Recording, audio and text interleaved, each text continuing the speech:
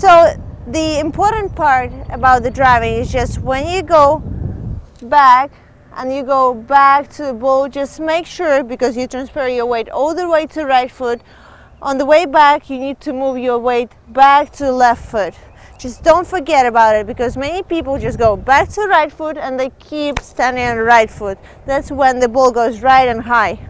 Just don't forget, go right, just transfer your weight back to left foot, right, back to left foot.